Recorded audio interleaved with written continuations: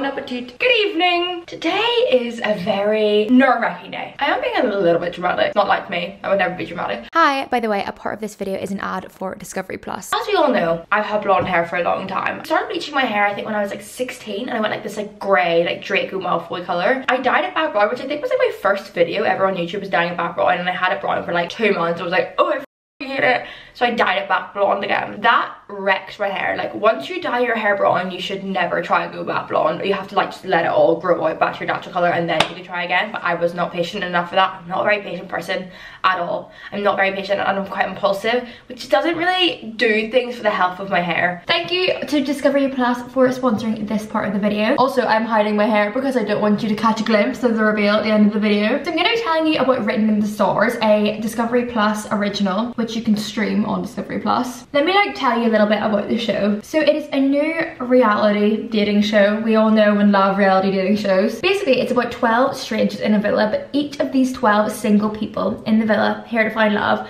represent each zodiac sign. They put their love life and like basically their whole life into the control of these top astrologers who are gonna like try finding love through their birth charts alone. These astrologers believe that they have found these single people in the show their perfect astrological match. And the whole show is just seeing if they're right, seeing if astrology actually can help you find love. Also, to add a bit of spice into the mix, some of the contestants are like cynics, like they don't believe in astrology. It's gonna be very interesting to see if by the end of the show they've changed their mind. Maybe they will believe in astrology in the end. I still don't know if I believe in astrology. I'm a bit of a cynic, but who knows what I think after watching Written in the Stars. You guys can get some more information on the show in my description box. But yeah, thank you so much to Discovery Plus for sponsoring that bit of the video. And let's get on with the rest of the video.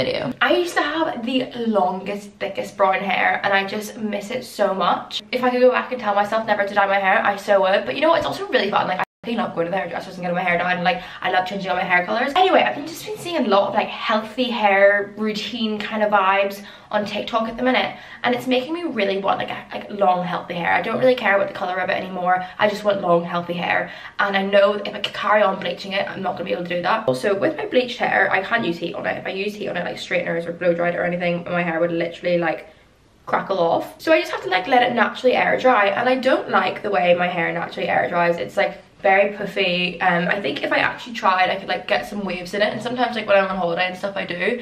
But it's just not like nice straight hair and it's not nice curls. It's just kind of like frizzy in between. I think the bleach just doesn't help at all. So i've decided to go brown i'm kind of scared to go back to my natural color like straight away. I feel like that would be a very big change which i'm not quite sure i'm ready yet for. So i've got this photo. And the reason i like this photo is because She's definitely got like a brown root so my hair will to like grow out easier and it won't be as harsh when it grows out. But she's also got like some blonde in the end and also this is like how my hair dries. Well also her hair is a lot longer than mine so I am thinking of getting extensions but I just feel like I could wear my hair natural so much if I had it like this. So yeah that is what I'm gonna go do today. Hopefully it works out. I went for a consultation the other day and they were like it is gonna be quite warm. I think whenever you dye your hair brown you either have to like go quite warm or it's gonna look green. That's what they said.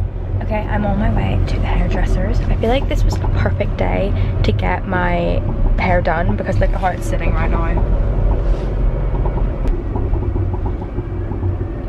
It's just not ideal, is it? I'm gonna try give you an outfit of the day, but I'm in a taxi. I'm wearing my Miu loafers. They're my favorite things in the world. I wear them every single day. And then I'm wearing these jeans from Motel. They just sit fantastically. I've been wearing them like every single day since I got them. I went up like two inches than my usual waist size and they just sit on my hips really really nicely. It's black puffer season. I did tell myself like this year i'm gonna get a different color color color puffer just to switch it up a bit. I mean it's not a north face so i feel like that was switching it up a bit enough for myself. But it just goes with every single outfit. It's like why would you not want to wear a black puffer every single day?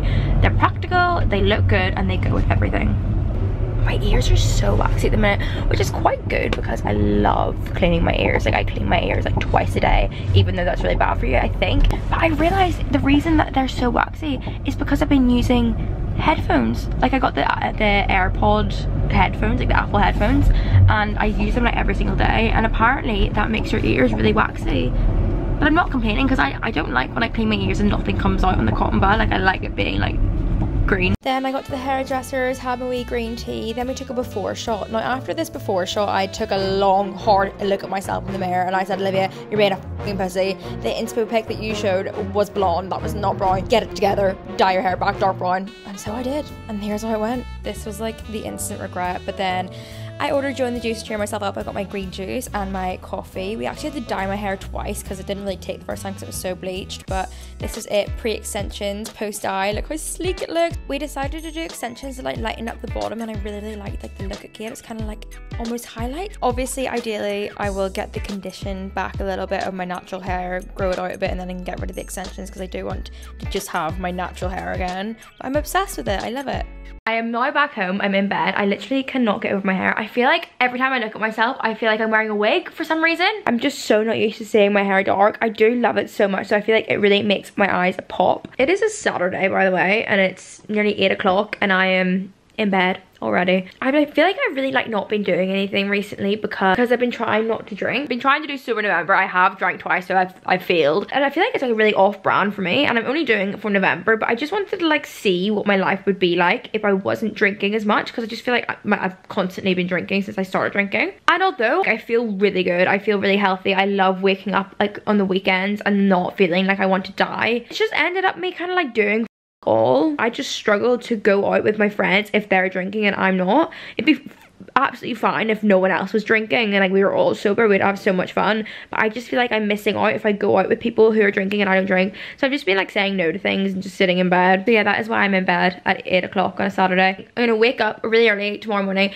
go for a nice wholesome walk. I'm gonna go to a shop and buy loads of loads of food because I've invited people over for a roast dinner. I was initially gonna have like six people over and that was fine, but then people kept asking, oh, can this person come, can this person come? And it turns out there's 10 people coming to my house tomorrow for a roast dinner. Number one, I don't know how to cook a roast. Number two, I don't know how to cook meat, so I could give everyone food poisoning. Like I haven't eaten meat in like six years or something. And before that, my mom always cooked the meat. Number three, my oven like doesn't really work. And number four, I don't have any like utensils. Like I have like I have like a baking tray, things that I would need because I live on my own. So like I only bought stuff for me living on my own. I didn't buy things for preparing for a 10 person dinner party. And number five, I don't really like roasts. I actually hate roast so i'm like thinking like what am i gonna eat but anyway it should be fun it should be a fun journey to embark on together oh my god i really can't get over the hair looks a lot darker on camera than it is in person but um I think tomorrow I'm gonna do something like fun, like a dark eyeliner or something, go like proper goth girl. I literally just went like that and then I had to like put it away. That was really embarrassing, sorry, ignore that. I keep doing this recently. I don't know if it's ironic anymore. I did it as a joke at the start and now it's become like a common hand movement for me and it needs to stop. Good morning. I feel like I need a jump scare right now for me with no makeup and brown hair. I really, I think I need a tan desperately to like get used to this dark hair because right now I think I'm kind of a bit scary. I mean, this is what I'm supposed to look like because this is my natural hair, so I just need to get over it. Anyway, let me fill you in what I've done today. I haven't really done much. I did say I was gonna wake up and go for a walk, but I actually had a really, really nice lie in instead, and I've been waking up quite, not early, I've literally been waking up at 9 a.m., which is like a normal time to wake up, but I feel like that's quite early for me. I literally look like the berries and cream boy. I've been preparing for everyone coming today. I will show you what I've done. I tidied my whole house. I emptied the litter tray. I've kind of moved my furniture around here, and I, I, I like the way it looks, but I do think it leaves this whole space like quite open. I'm, I do not know what I'm going to do with this stuff. If anyone wants this, let me know because I kind of like, I bought it from my old flat. Now I don't really have anywhere to put the stuff. But yeah, it leaves this area quite open. So I think I'm going to get some cool island chairs. I feel like we look so alike. I feel like every time I get a cat, I look so like them. But yes, I have my placemats out. I think this is from H&M Home, the placemat, and then this is from Zara Home. I only have three wine glasses because I don't drink wine, so I'm gonna have to go buy some more wine glasses. I've got my little like skylight light on, which I actually am obsessed with, this little light here. And my garden is a mess. I need to get rid of all the leaves, but I cannot be bothered right this second. But yeah, this is what I have done this morning. So now next on the agenda is to go to, I think I'm gonna go to Marks and Spencer's and get all my stuff for the roast there. I feel like M&S has the best like microwave stuff because I'm not gonna make my own cauliflower cheese or like my own carrots and parsnips and stuff. I'm just gonna get the microwave one. And M&S, I just feel like it's quite bougie and they do really great microwave stuff. Like I always thought it was a bit of a treat when my mum would bring back microwave stuff from M&S. I have help today because there's 10 people and there's no way that I could do that all on my own. I was having a bit of a dilemma last night. Um, so my ex-boyfriend is gonna come and help me. I don't want to talk about it guys, okay? I'm just like, let me just play, like pretend, happy families. I'm having fun, okay? M&S time. This one, or this one. How do you tell which is a good chicken? This one's free range. Organic. I feel terrible. I'm not feeling bad. Oh my god, that's crazy. Okay, so we're back home now and we are prepping the chicken. It's just actually horrible, isn't it? Ugh. Anyway, this is what we've got. We've got the broccoli, we're going to do roasted honey, carrots and parsnips. We're gonna make some roast potatoes and then in here we have cauliflower cheeses. We've got Yorkshire puddings back there. We have the chicken Kievs for the vegans. And then for like nibbles for when people get here, I've got like the tomatoes and mozzarella, some olives and and some paprika king prawns. For drinks wise, I have beers and then I've got Diet Coke because me and another girl will not be drinking because I'm still trying to do so in November even though it failed and then I've got wine but I'm hoping more people will bring wine as like a, as like a gift because I've only got two bottles of wine and there's 10 people coming. I want to put you onto this. So I got this the other day. It's from Clinique.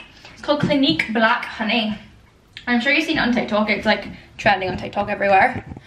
But it looks like this in the pot and you put it on and it's just like a lovely like kind of like it's like your lips but a darker purple and I love that shade on me. That's like my favorite shade ever. Like I literally am obsessed with it. It's so subtle but it's just like for every day. I love it. It's just like, it, it kind of looks like you've been eating like a cherry, maybe. Look, our first guest has arrived and she's come bearing goods. I brought, She brought, I brought flowers. so many different desserts. Oh, this one exploded. Oh, I love profiteroles. I used to get profiterole tar. tar.